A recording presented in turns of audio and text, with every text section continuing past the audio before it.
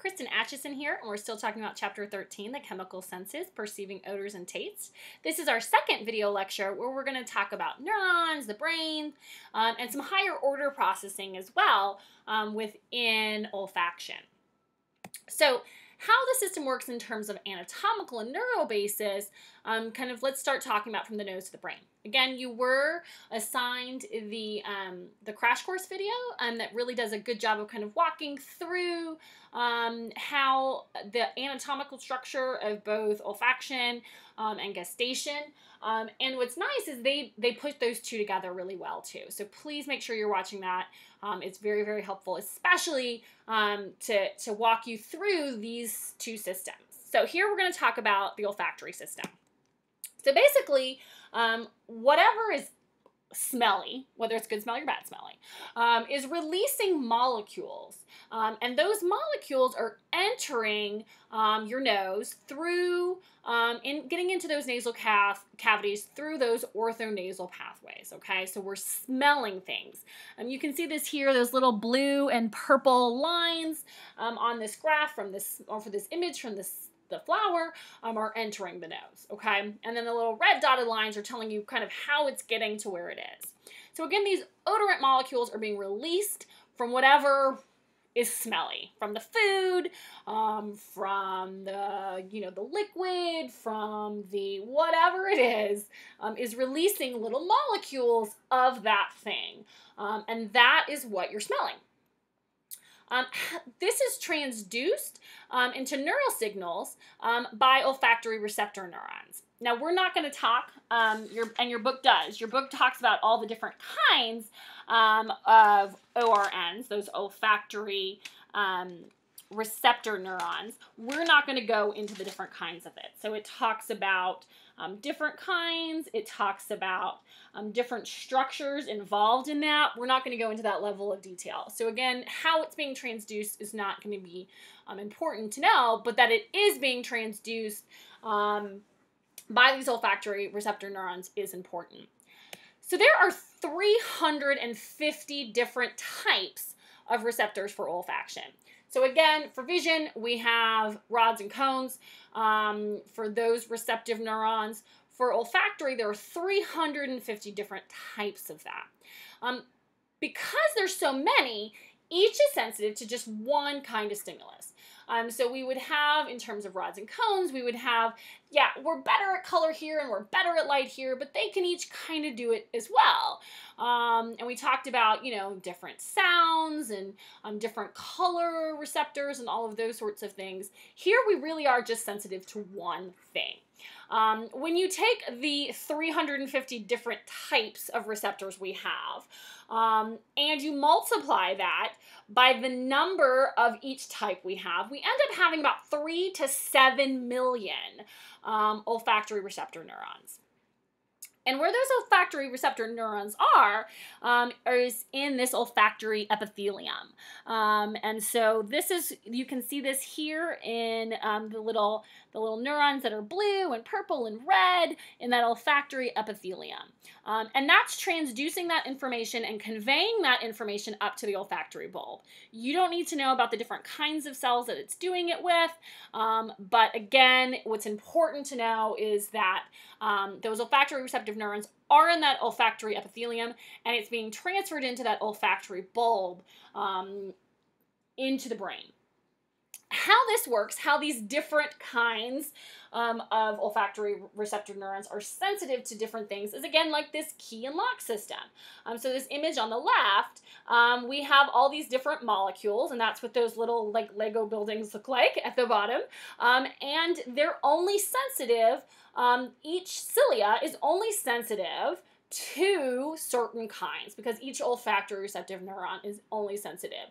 Um, so we're it's the key and lock, and they're going to match up. So the red match up with the red here, the green match up with the green here uh, on these olfactory receptors.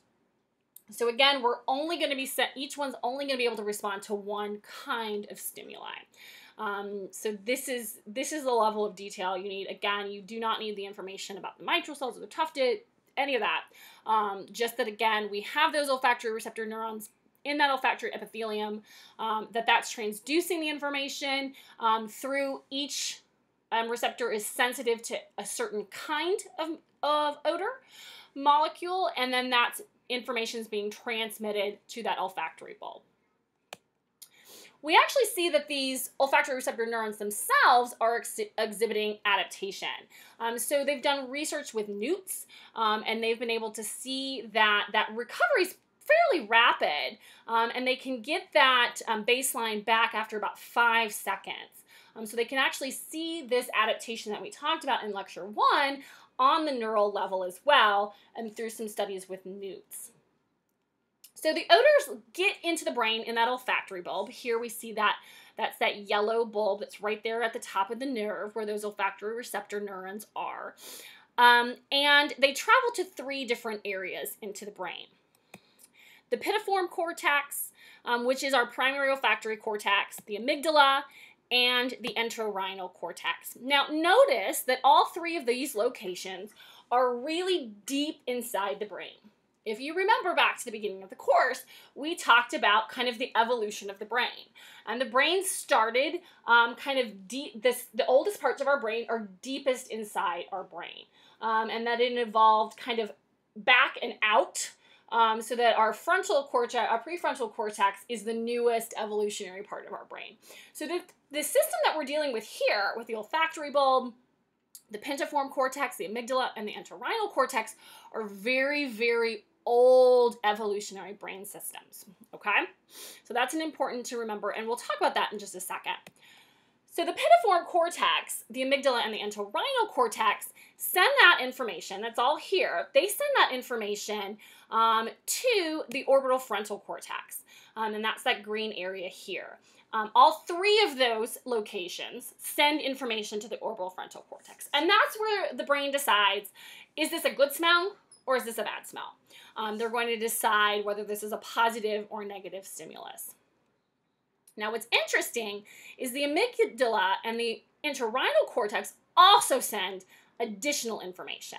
Um, so the amygdala is going to send information, and this is what's involved with emotions, is going to send information to the hypothalamus, and the entorhinal cortex is going to send information to the hippocampus. Now notice, none of these signals are going through the thalamus, which is different.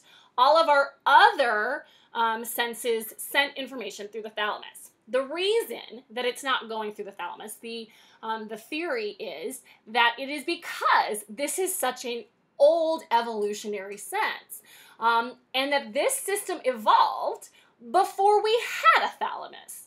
Um, and so this smell, again, remember smell is an early warning system, um, and a lot and a lot of animals have it, um, and a lot of animals that are a lot more um, evolutionarily kind of simplistic have it.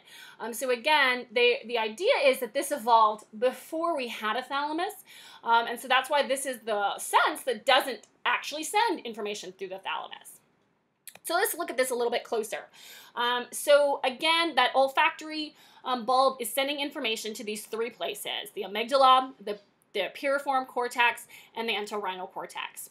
All three of those send things to that orbital frontal cortex, and that's that green block there. Now, the amygdala and the entorhinal cortex send two signals. They send the one to the orbital frontal cortex, but they each send additional signals. Um, again, that some of that has to do with memory, um, some of that has to do with emotion. And so they're sending additional information outside of just the orbital frontal cortex. Um, and again, this is information that's having to do with emotions, and this is information that has to do with memories. That leads us into these higher order processes. Um, we have a really big relationship between odor and memory. And some of that is because odor is a warning system. Um, so it's important to know what smells are dangerous um, so that as a, as a creature that we can avoid those dangerous stimuli. Um, so memories for odors are really, really long lasting.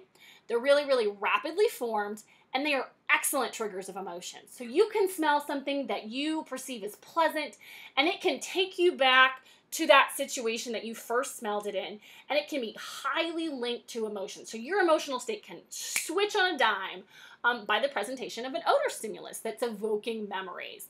And it will bring back those memories um, and the emotions associated with them. And again, this is what's happening from those additional signals that the brain is sending out outside of just sending it to the orbital frontal cortex.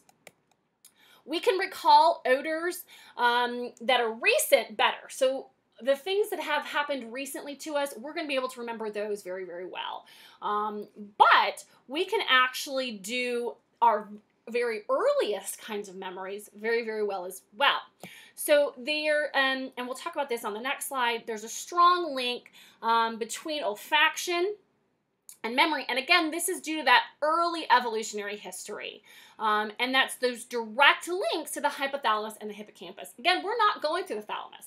We're not, we're going straight to these memory and emotion sources.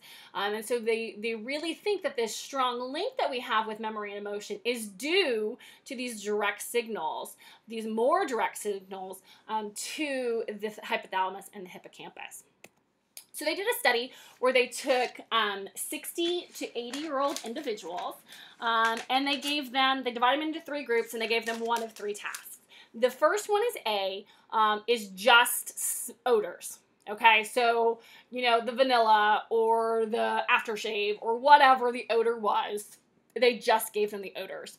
And they got the best um, memories for the memories that were earliest like the most recent. So it was only, um, you know, it wasn't, the age wasn't that long ago. So you'll see for all three graphs, we have a pretty good recency effect where we, all of them kind of go up at the end. All of those graphs go up in the end for the 70 to 80 um, tick. And that's because of that recency effect we talked about in the previous slide.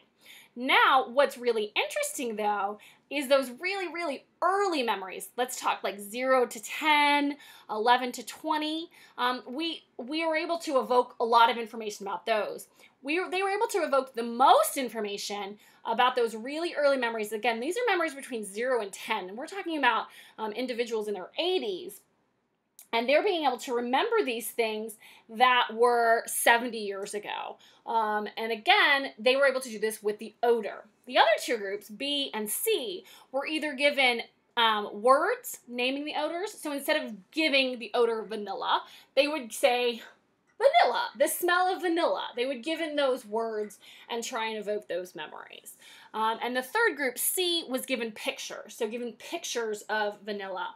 Um, and again, what they saw was that odor was evoking um, more memories um, than either words or pictures were of those same odors. So again, this olfactory system's direct link to the, the hypothalamus and the hippocampus is really enabling, the theory says, um, us to remember these things more directly. We also see this happening not only in terms of remembering things from long ago, but this is a system that's online before we're even born. Um, so they have prenatal um, memories evoked by odors. So fetuses um, begin and um, fetuses and embryos begin swallowing amniotic fluid at about 11 weeks. So very, very early on, um, they're swallowing the amniotic fluid that they're in um, in their, their mother's womb. And, and, this fluid changes depending on what mom's eating. Um, mom herself is going to have some flavors in her amniotic fluid. What she eats is going to change um, the flavors of her amniotic fluid. And what they do is then they test these babies after they're born. I mean, they give them two options, and these are all formula fed babies. They give them two options. They give them the option of something that smells um, like their mother's amniotic fluid, or something that smells like something new that's important to them, formula. And they prefer um, both two-day-olds and four-year-old, four-day-olds prefer the smell of the amniotic fluid. So not only do they prefer this familiar smell, they're remembering this smell um, from a previous situation. So again, this system is very, very early on um, that this, how important um, these smells are. And so again, um, both two, day, and that's what the AF lines are, both two-day-olds and um, four-day-olds prefer amniotic fluid over that formula milk. I mean, there's lots of other examples of this as well. The last thing that we're going to talk about in this lecture are pheromones. Is there evidence for human pheromones? Not really. Um, there's some um, evidence, but most of it really remains controversial, and there's very little information that really supports that humans have a pheromone system um, similar to other animals. There are systems in many other animals that really detect these pheromones, um, but the overall research with humans suggests that it's not a process that we have, it's not a system that we as humans have. Um, the research that does suggest that humans are emitting some sort of substances that can affect the behavior of other humans um, point out that these are probably actually due to other factors um, and not due to um, olfactory factors. Um, so that really there's not much evidence supporting a human pheromone system. So this ends our conversation about the neural signals, the anatomy, and um, the higher order processing of olfaction. Thanks.